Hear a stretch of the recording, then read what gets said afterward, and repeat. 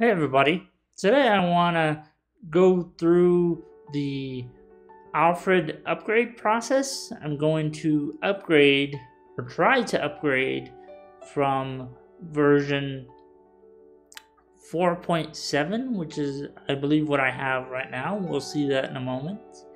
To version 5, which is the new version that they have out. And yes, I will uh, pay for a license on the video. All right, let's get started. First, we're gonna see uh, what current version of Alfred I have. So we're gonna do Command spacebar and then Command comma. And yes, right here is the most current version um, 4.7 so we're gonna um, we're gonna upgrade in a moment. So we're gonna close this we're gonna go through an email that I received from Alfred support so we're gonna close this and then we're gonna go to my email. Here it is. So we're gonna get a license from here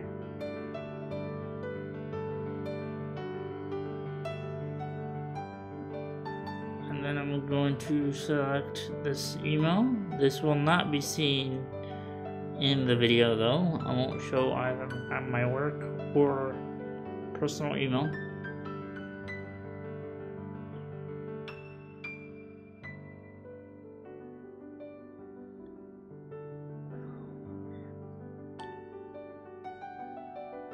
Oh, okay, so I have to upgrade or see my license. Let's see if I can get that somewhere.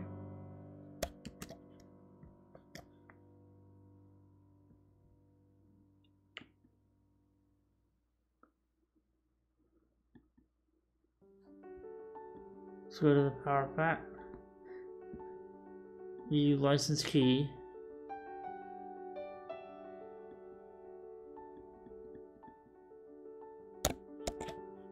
Select, copy,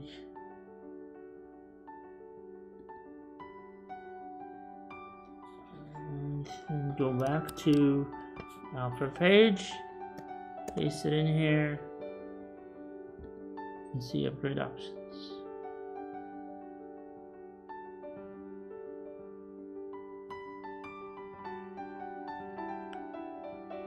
Hmm. I'm going to go with the single user. And type my name.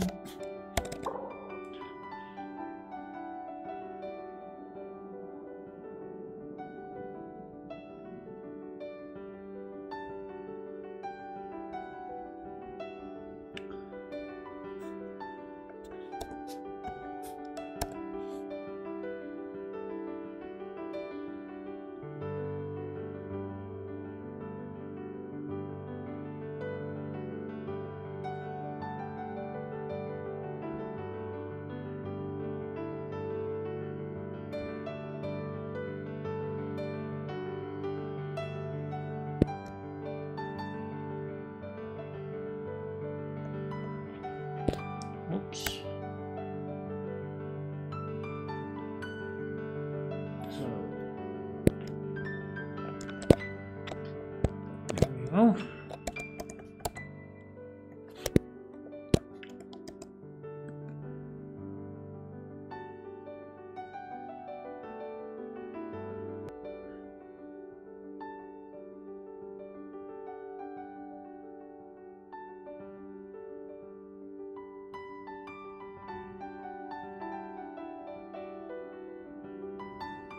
and go there then download Alfred 5 and we're gonna go to the download uh, folder. Download it. And I think it should be done. Yep here it is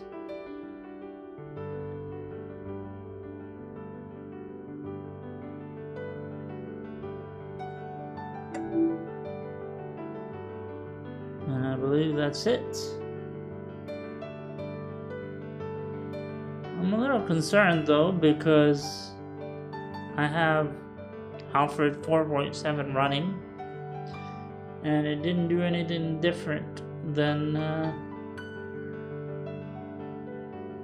show um, moving the icon to the applications folder but we'll see so I'm done here. I'm actually going to use um, the finder instead of Alfred this time just because I'm going to uh, need um, to see how to replace Alfred 4 okay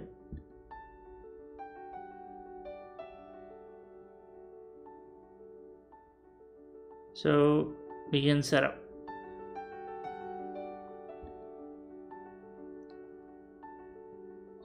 It needs a power pack. Okay. Let's see um, we can get that from back from the email.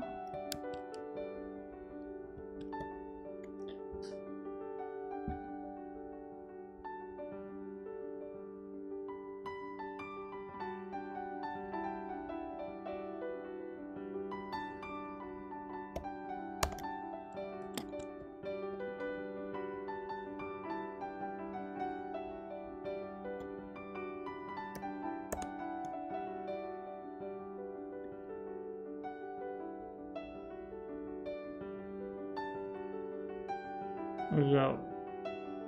Now, I need to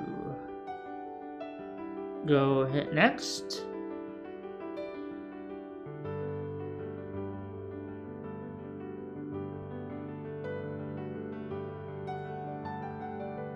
Okay, next step. I actually think everything's okay here, but I'm not sure. Guess we'll find out later. So I'm gonna say skip the step because there's no uh, select later option, so I, I'm thinking everything's fine.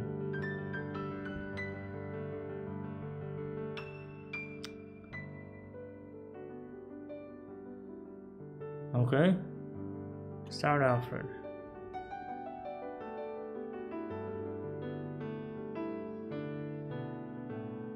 Huh.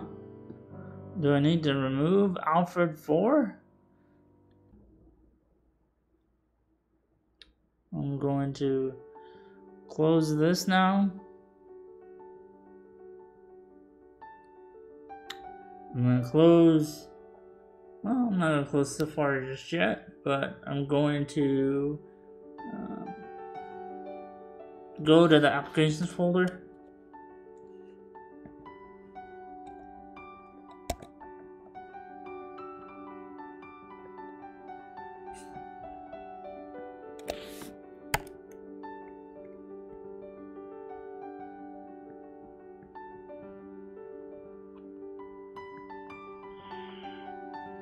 systems applications. Just go to applications. Here we go. Whoa.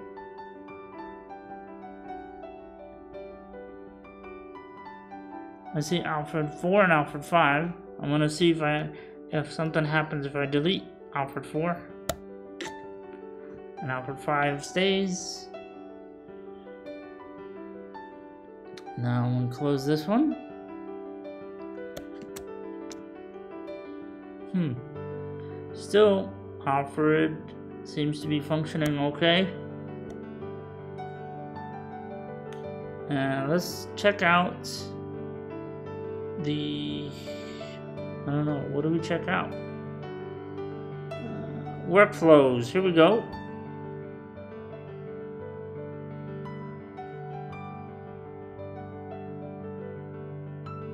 They all seem to work just fine. I don't know. Uh, working with um, workflows will have to wait for another video. But it seems to be uh, working fine. All I had to do was um, pay for a new license and install the application, and all I had to do was delete um, Alfred 4. I did. I don't know if I even needed to do that, but I did it anyway just to stay on the neat and clean side. So, what you do is you pay for an upgrade if you already have Alfred for the license. You install Alfred, um, the application, Alfred 5, and then um, once you go through the permissions and the setup process, go ahead and delete uh, Alfred 4 by only by uh, hitting uh, command delete from the applications folder and it should move it to the trash. Don't do um, the AppCleaner process because that might uh, break something or delete a folder that you need as a legacy to run Alfred 5 properly. Um, let's see if uh, UD works. Um, I guess it does. Yeah.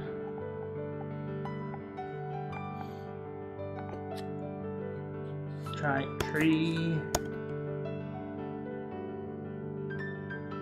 Hugger.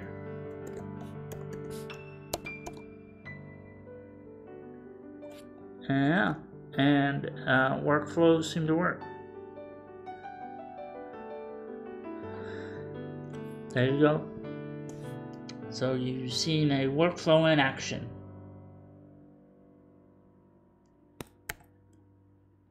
And that, ladies and gentlemen, is how you install Alfred 5.